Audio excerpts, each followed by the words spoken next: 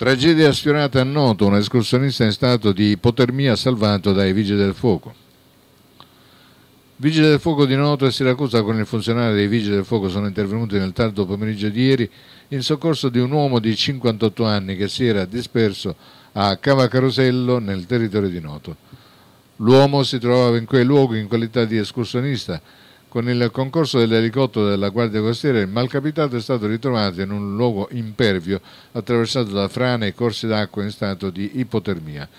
Immediati soccorsi da parte del personale dei Vigili del Fuoco, esperto in tecniche di derivazione speleo alpino fluviale, tratto in salvo, ha fatto ricorso alle cure dei sanitari trasportando dai Vigili del Fuoco all'ospedale di Maria di Avola. Prezioso il contributo dei carabinieri della protezione civile di Noto.